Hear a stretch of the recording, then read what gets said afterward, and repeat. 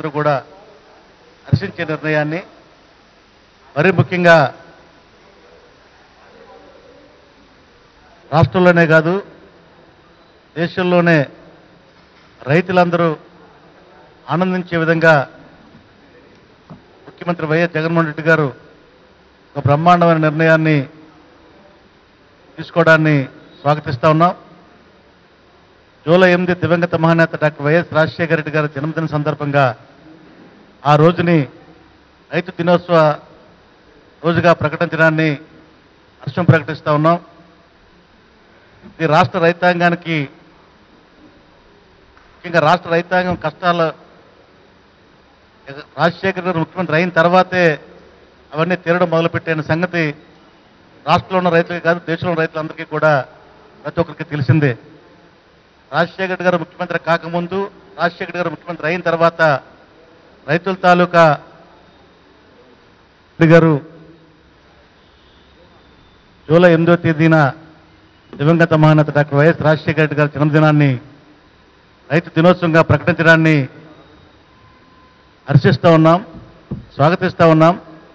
ఇది ఒక్క వైఎస్ఆర్ కాంగ్రెస్ పార్టీ కార్యకర్తలు కాకుండా యావత్ రాష్ట్ర రైతాంగంతో పాటు భారతదేశంలో ఉన్న రైతులందరూ కూడా హర్షించే సముచిత నిర్ణయం అని చెప్పి ప్రతి ఒక్కరూ భావిస్తూ ఉన్నారు. దానికి కారణం ఎందుకంటే రెండు వేల నాలుగు ముందు రైతుల తాలూకా పరిస్థితులు రెండు వేల నాలుగు తర్వాత రైతుల పట్ల ప్రభుత్వాలు చూపిస్తున్నటువంటి శ్రద్ధ ఆదరణ ఒకసారి గమనించినట్లయితే రెండు వేల నాలుగు ముందు చంద్రబాబు నాయుడు పరిపాలనలో రైతులు కరెంటు బిల్లులు కట్టలేక ఆత్మహత్యలు చేసుకునే పరిస్థితి ఉండేది. ఆనాడు రాజశేఖర రెడ్డి గారు మహాప్రజా ప్రస్థానం పాదయాత్ర ద్వారా రైతులందరికీ కూడా ఉచిత కరెంట్ ఇస్తానని చెప్పి ఆనాడు వాగ్దానం చేసి ఆనాటి నుంచి ఈనాటి వరకు అనేక రైతుల మీద అనేక కార్యక్రమాలు కూడా జరుగుతూ ఉన్నాయి.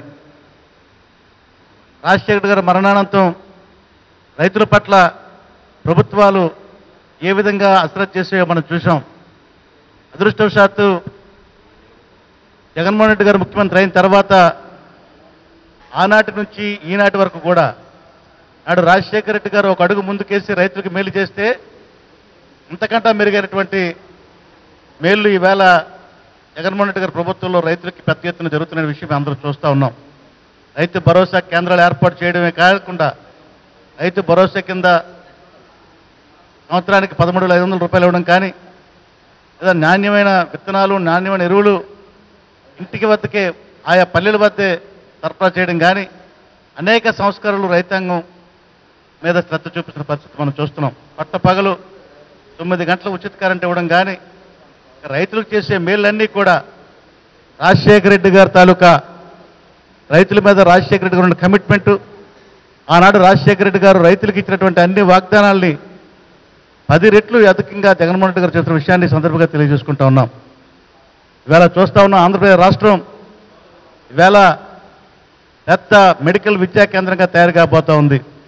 ప్రపంచంలోని అత్యధిక మెడికల్ కాలేజీలు ఉన్న ప్రాంతం ప్రభుత్వ మెడికల్ కాలేజ్ ఉన్న ప్రాంతంగా ఆంధ్రప్రదేశ్ రాష్ట్రం చిరస్మరణీయంగా మిగలబోతా ఉంది. ఇది చాలా గర్వకారణం అని చెప్పి సందర్భంగా తెలియజేస్తా ఉన్నాం.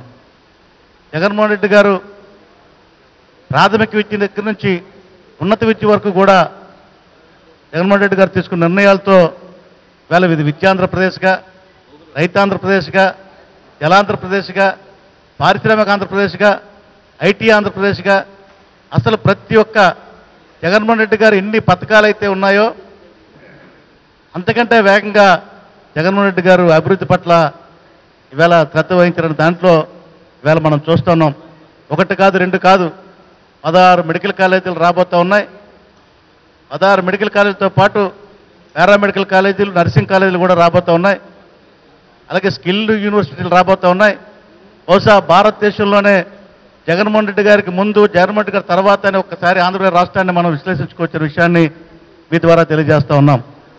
జగన్మోహన్ రెడ్డి గారికి ముందున్న ముఖ్యమంత్రులు అందరూ కలిపి ఈ రాష్ట్రంలో ఎన్ని మెడికల్ కాలేజీలు తీసుకొచ్చారో అంతకంటే రెట్టింపు ప్రభుత్వ మెడికల్ కాలేజీలు వాళ్ళ నిర్మాణం కాబోతా ఉన్నాయి. రాష్ట్రాన్ని శరవేగంతో అభివృద్ధి చెందే విధంగా ఇవాళ జగన్మోహన్ రెడ్డి గారి నిర్ణయాలు ఉన్నాయనేది స్పష్టం కనబడతా ఉంది. నిన్న నిన్న మొన్నటి వరకు తెలుగుదేశం పార్టీతో పాటు అనేక ప్రతిపక్ష పార్టీలు కొంతమంది కుహాన రాజకీయ మేధావులు జగన్మోహన్ రెడ్డి గారు ముఖ్యమంత్రి అయితే పోలవరం ప్రాజెక్టు నిర్మాణం జరగదని చెప్పారు.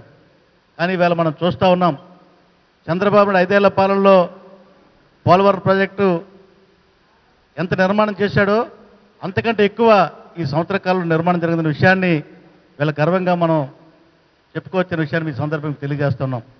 ఒక్క పోలవరం ప్రాజెక్టే కాదు.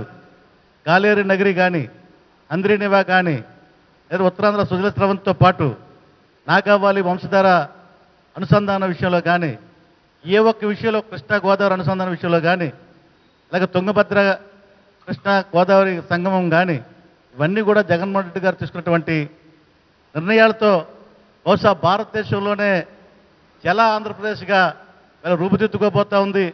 ప్రతి ఒక్క ఎకరాకి కూడా నీరు అందించే విధంగా మంచినీటి కొరత లేకుండా పారిశ్రామిక అవసరాలకి కొరత లేకుండా జగన్మోహన్ రెడ్డి గారు తీసుకున్న నిర్ణయం ఇవాళ ఆదర్శం కాబోతున్న విషయాన్ని ఇవాళ గర్వంగా చెప్తున్న విషయాన్ని మీ ద్వారా నేను తెలియజేస్తా ఉన్నా. మరి ముఖ్యంగా విశాఖపట్నం మీద ఉన్నటువంటి మమకారాన్ని ఒకసారి మనం గమనించుకున్నట్లయితే ఏనాడైతే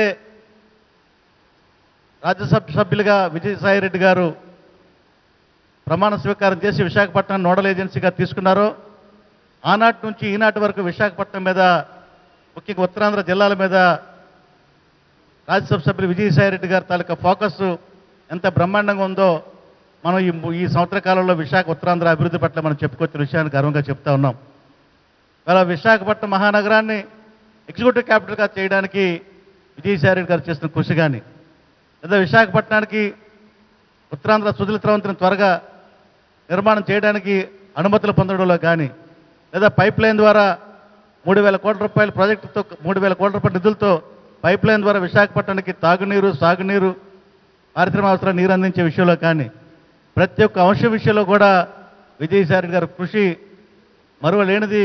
విజయసాయి గారి నేతృత్వంలో ఉత్తరాంధ్ర జిల్లాలో మూడు ప్రభుత్వ మెడికల్ కాలేజీలు రాబోతున్న విషయాన్ని వీళ్ళ గర్వంగా మనం చెప్పుకొచ్చిన విషయాన్ని మీ ద్వారా తెలియజేస్తున్నాం.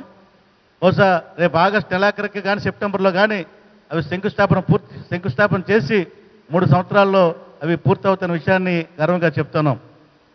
ఎప్పుడైతే శంకుస్థాపన చేస్తారో ఆ రోజున ఎప్పుడు ప్రారంభోత్సవం జరుగుతుందో చెప్పే విషయాన్ని వీళ్ళ సగర్వంగా ప్రకటిస్తున్న ప్రభుత్వం ఏదైనా ఉంది ఈ దేశంలో అంటే అది వైఎస్ఆర్ కాంగ్రెస్ పార్టీ ప్రభుత్వం జగన్మోహన్ రెడ్డి ప్రభుత్వం విషయాన్ని గర్వంగా చెప్తా ఉన్నాం.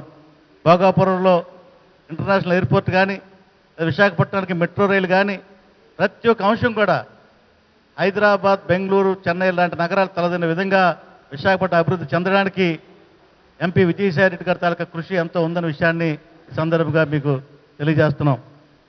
అన్నిటికీ మించి ఇవాళ జగన్మోహన్ రెడ్డి గారు పేదల పట్ల తీసుకున్న నిర్ణయాలు పేదలకు అందిస్తున్న సంక్షేమ కార్యక్రమాలు నిన్నటి వరకు సంక్షేమానికే తప్ప అభివృద్ధి పట్ల నిర్లక్ష్యం చేస్తారనేటువంటి ప్రతిపక్ష వాళ్ళ మాటలు వేళ కొట్టుకుపోయే విధంగా అభివృద్ధి పట్ల ఫోక- ఫోకస్ చేశారు జగన్మోహన్ ప్రభుత్వం చెప్పి వాళ్ళు గర్వంగా చెప్తున్నాం. ముఖ్యంగా రాబోయే కాలంలో నాలుగు విశాఖపట్నం పోర్టు లాంటి పోర్టులు అదనంగా నాలుగు పోర్టులు రాబోతా ఉన్నాయి. అవి శంకుస్థాపన కార్యక్రమాలు కూడా జరుగుతూ ఉన్న విషయాన్ని ఇవాళ మీకు తెలియజేస్తున్నాం. అలాగే పదమూడు చోట్ల ఫిషింగ్ హార్బర్లు రాబోతూ ఉన్నాయి.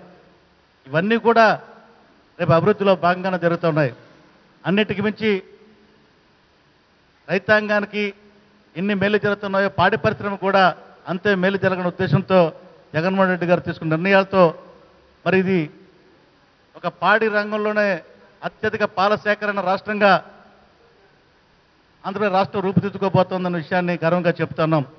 జగన్మోహన్ రెడ్డి గారు ఈ ఐదేళ్ళ కాలంలోనే భారతదేశంలో అన్ని రాష్ట్రాల కంటే ప్రతి ఒక్క అంశంలో కూడా విద్యలో కానీ వైద్యంలో కానీ పారిశ్రామిక రంగంలో కానీ ఇరిగేషన్ రంగంలో కానీ టూరిజం రంగంలో కానీ ఏ రంగంలో తీసుకున్నా నెంబర్ వన్ స్థాయికి తీసుకెళ్ళడానికి ప్రణాళికలు వేసుకుంటా ఉన్నారు. అడుగులు వేస్తా అడుగులు వడివడిగా పడతా ఉన్నాయి.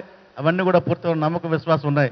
ఇవే కాకుండా పొరుగు రాష్ట్రాలతో సత్సంబంధాలు కానీ ఇవ్వకుండా రాష్ట్ర శ్రేయస్సే ప్రధానంగా జగన్మోహన్ గారు తీసుకున్న నిర్ణయాలతో వేళ బ్రహ్మాండంగా అభివృద్ధి చెందుతున్న రాష్ట్రానికి ప్రతిపక్షాలు కొన్ని మీడియా సంస్థలు కక్ష కట్టుకుని జగన్మోహన్ రెడ్డి గారి మీద జగన్మోహన్ రెడ్డి ప్రభుత్వం మీద అస్థిరపరచడానికి అవాకులు చవాకులు మాటల పరిస్థితి మనం చూస్తున్న. విషయాన్ని సందర్భంగా తెలియజేసుకుంటూ రేపు రాజ్యసభ సభ్యులు విజయసాయిరెడ్డి గారి జన్మదిన సందర్భంగా విశాఖ నగరంలో అనేక సాంఘిక సేవా కార్యక్రమాలు కూడా జరుగుతూ ఉన్నాయి. కరోనాకి ఎటువంటి ఆటంకాలు కలిగించకుండా కరోనా నిబంధనలు ఎక్కడ ఉల్లంఘించకుండా విశాఖ నగరంలో ప్రతి వార్డులో కూడా విశాఖ వైఎస్ఆర్ కాంగ్రెస్ పార్టీ నగర కమిటీ ఆధ్వర్యంలో వంశీకృష్ణ గారి పిలుపు మేరకు అన్ని వార్డుల్లో కూడా పెద్ద ఎత్తున కార్యక్రమాలు జరుగుతాయి. ఎక్కడ కూడా కరోనా వైలేషన్ లేకుండా చేయాలని చెప్పి ఇప్పటికే కార్యకర్తలందరికీ కూడా విజ్ఞప్తి చేయడం జరిగిందన్న విషయాన్ని సందర్భంగా తెలియజేసుకుంటూ మొన్న వెంకటాపురం ఘటన ముగికి ముందే ఇంకా దాని నుంచి ఇంకా బయట పడకముందే మరి నిన్న ఈ వారం ఈరోజు ఉదయం మరవాడ ఫార్మాసిటీలో ఒక దుర్ఘటన జరిగింది. ఆ దుర్ఘటనకి తీవ్ర చనిపోయిన వారికి తీవ్ర సంతాపం తెలియజేస్తూ అటువంటి దురదృష్టకర ఘటనలు మరి జరగకూడదని చెప్పి భగవంతుని ప్రార్థిస్తూ సకాలంలో జిల్లా యంత్రాంగం కూడా పూర్తిగా అన్ని సహాయ సహకారాలు అన్ని సహాయ కార్యక్రమాలు కూడా చేపట్టి పరిస్థితి అదుపులో తీసుకున్న విషయాన్ని సందర్భంగా తెలియజేసుకుంటూ సెలవు తీసుకుంటాం